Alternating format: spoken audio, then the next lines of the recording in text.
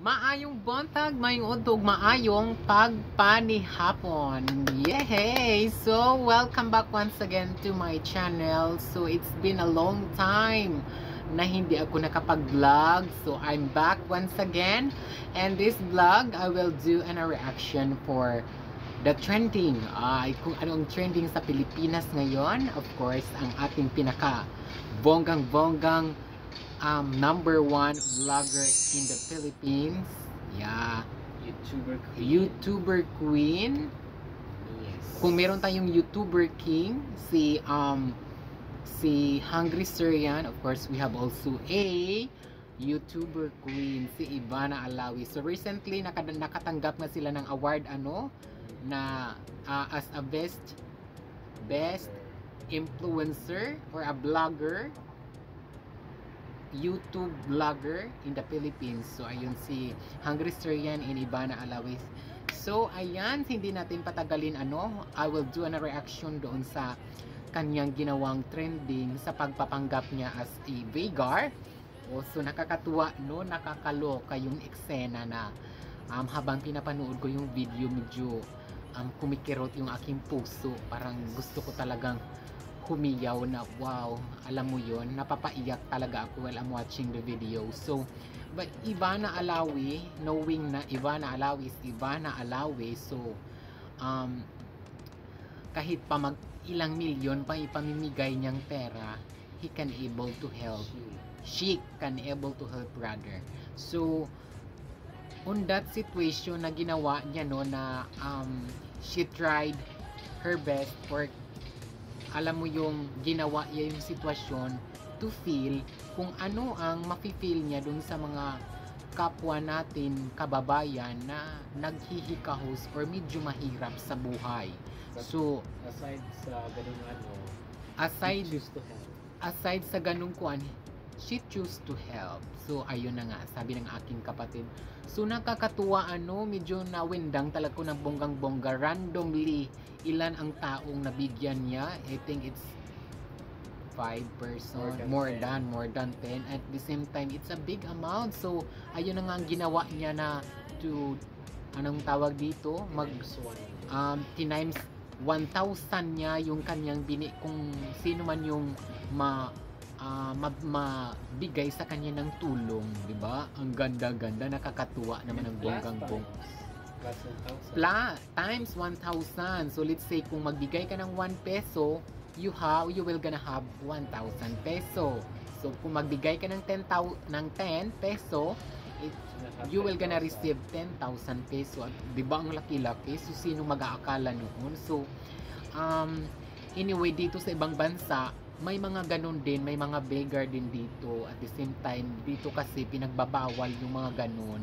Although, um, nakakaawa yung tao na mga nangihingi, pero pinagbabawal yan dito. At the same time, sa kung, kung halimbawa, mahuli ka, o na magbigay, maybe you will gonna face consequence, I mean, penal, penalty kasi nga you are tolerating din pero hindi mo naman kasi din ma ano, matiis kasi nga nangangailangan especially yung mga mga may mga kapansanan, meron din yan dito. So, yeah, let's go back to the reaction. Nakakaloka na nawendang ako. Actu- Actually, ang mga natulungan mostly ni Ivana, no? Doon sa kanyang prank doon sa kanyang um, challenge, 'di ba? Anong tawag doon?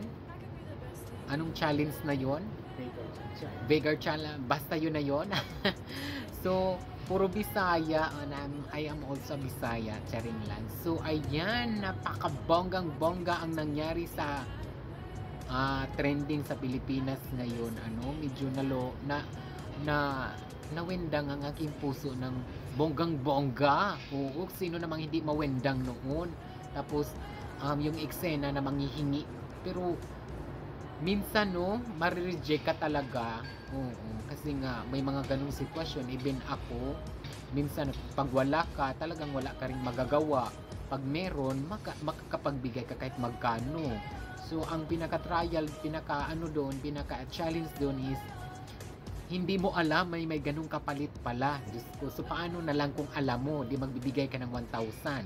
So, 1 million yung ibabalik sa'yo. Mag, yes, 1 Oo. million. So ayun 'di ba? Pero napakagandang ano no, napakagandang ah, ginawa ni Ivana Alawi na nakatulong din siya sa mga ah, taong for sure yung mga tao na yun. Katulad ni Kuya na dun sa pinaka last part na naging emotional si Ivana Alawi kasi gusto niyang tawagin na lang si Kuya na si tatay na tatay niya. Kasi nga as we know Ivana is um, wala na siyang father.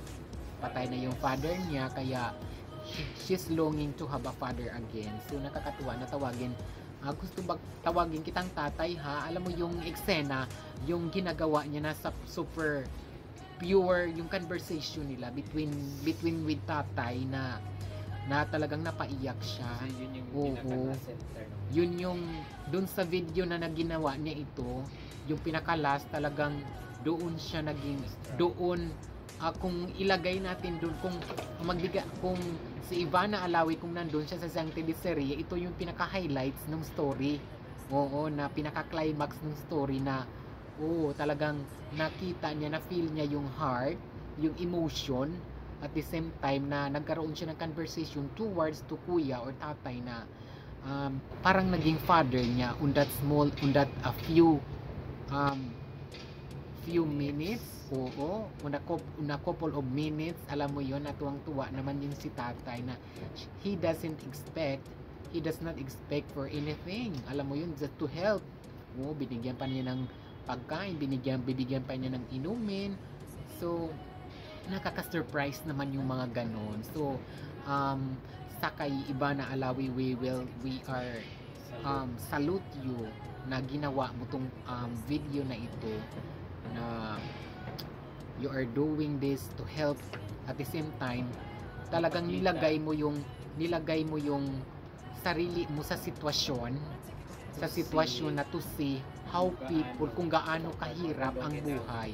Gaano ka matulungin ang Pilipino. at gaano ka matulungin ang Pilipino although pag yes exactly kahit sa anumang sitwasyon. And ang gusto ko lang maibigay din yung short kuan um, payo dun sa ating mga mga viewers for today na alam niyo yung minsan may nakikita akong post sa Facebook na ah, may mga quote na hindi mo to share or hindi mo ta mo gagawa dahil mayaman ka. Hindi um gusto ko lang sabihin sa inyo na hindi nila kasalanan na hindi nila naranasan yung naranasan natin bilang isang mahirap na na tao hindi natin kailangang i-blame sa kanila or isampal sa kanila or ipamukha sa i-insult. Alam mo yung insulting kasi yung ganun eh na hindi mo ma-share to no? Kasi mayaman ka kasi rich kid ka. Hindi na hindi nila kasalanan or hindi nila mali.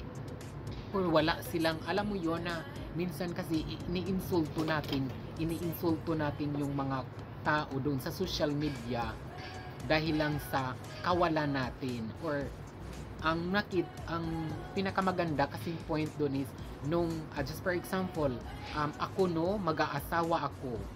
Nung time na nag-aasawa ako walang wala kami. So meaning to say ang mga anak ko papalakihin ko sila kung anong meron lang kami. Kung anong meron lang ang magulang namin ganon so doon sa mga taong nakabuild ng ah, before they proceed to marri- marriage nakabuild sila ng um, anong tawag dito nagkaroon sila ng magandang buhay meron silang negosyo nag before sila nag-start ng marriage? So meaning to say, they can able to support their kids at the same time, maibibigay nila kung anong pangangailangan ng kanilang mga anak. So, yun yung hindi natin nakikita doon. So, I would like to say this message, uh, to, to inform or to give this message na to let you know na hindi maganda na we're insulting doon sa mga tao na yun na hindi nila naran hindi mo ito ma-share dahil rich kid ka. So, hindi maganda. We are insulting. Hindi nila na kasalanan natin ba or hindi nila. Alam mo yon we cannot we cannot um insult others na hindi mo to nararanasan. Hindi mo ma-share dahil hindi mo naranasan. So, stop doing that. So, ayun lang ang masasabi ko. And once again, congratulations to Ivana Alawe.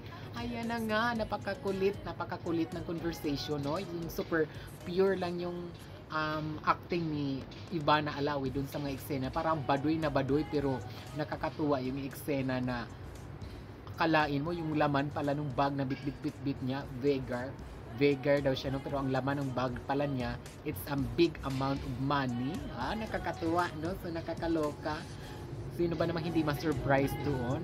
Aabutan ka, na- aabutan siya ng 20 or 10, der- 10 piso.